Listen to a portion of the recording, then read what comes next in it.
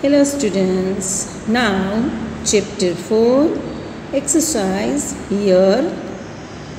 Question 1 show the following time in the clock.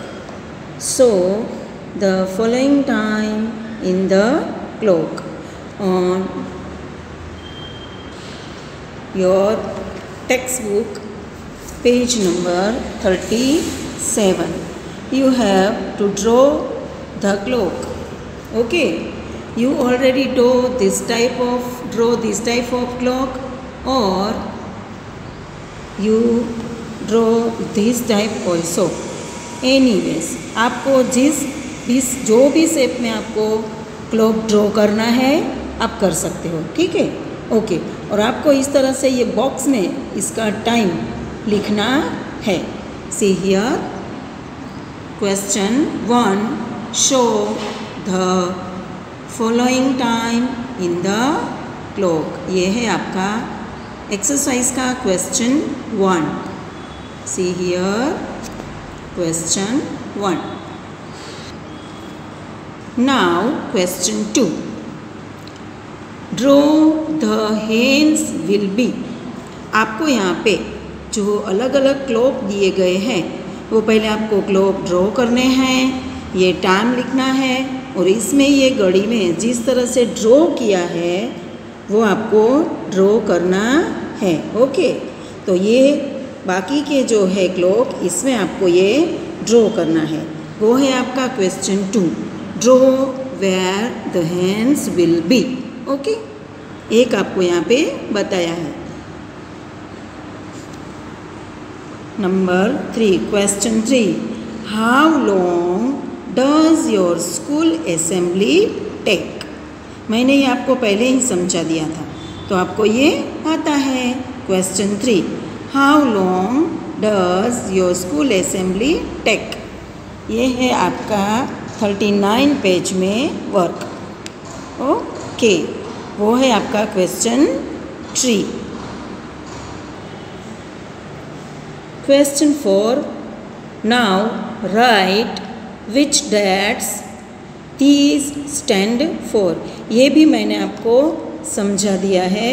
इसी तरह से ये है आपका पेज नंबर फोर्टी सेवन पर। Okay see here page number forty seven और इसी तरह से मैं जो आपको दे रही हूँ, वो आपको करना है ये वाली डेट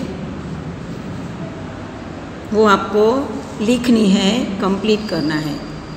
उसी तरह से जैसे मैंने आपको बताया, उसे हम write which dates this stand for उसे हम एक्सपांड डेट भी बोल सकते हैं। ओके से हियर है ना? उसी तरह से।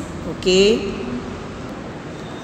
question five write this dates in numbers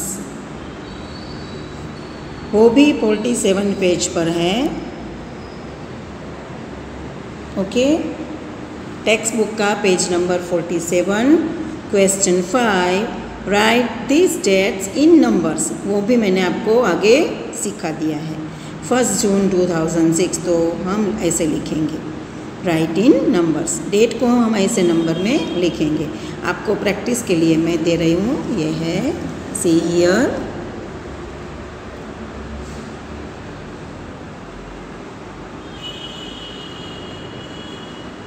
इस तरह से आपको ये करना है। Okay? Write the date in figure three June 2006 so we have to write here 0306 2006 मैंने आपको लगता होगा कि मैंने यहाँ पे ज़ीरो थ्री क्यों लिखा है? क्योंकि वन से नाइन डेट में वन फिगर होता है। और आप इसके बाद टेन इलेवन के लेके थर्टी या थर्टी वन डेट तक टू फिगर्स होते हैं। इसलिए हमने यहाँ पे ऐसे लिखा है। ओके, और सिक्स मंथ में भी ज़ीरो सिक्स लिखा है।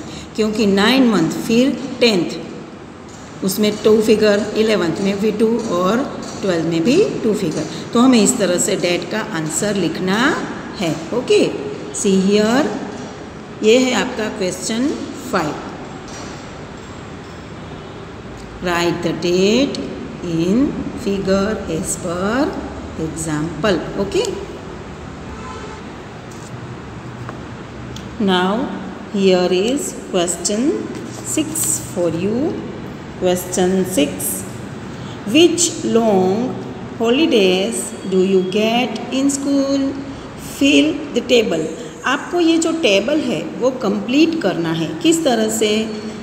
यह है पेज नंबर 47 पे ओके टेक्स्ट बुक का पेज नंबर 47 सी हियर यहाँ पे अलग अलग ओकेज़न दिए हैं। Summer holidays Navratri holidays Diwali vacation and holidays after the exam okay तो ये हमारा जो पूरा स्कूल का शेड्यूल है, वो शेड्यूल के हिसाब से हमें यहाँ पे वो डे लिखना है और डेट लिखनी और ईयर लिखना है मंथ लिखना है।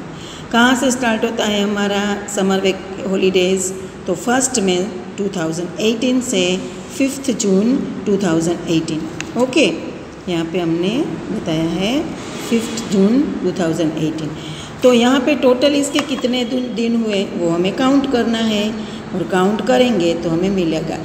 मई पूरा और जून के फाइव डेज़ ये सब मिला के हमें लिखे, लिखना है यहाँ पे total number of the days इस तरह से आपको ये पूरा टेबल कंप्लीट करना है।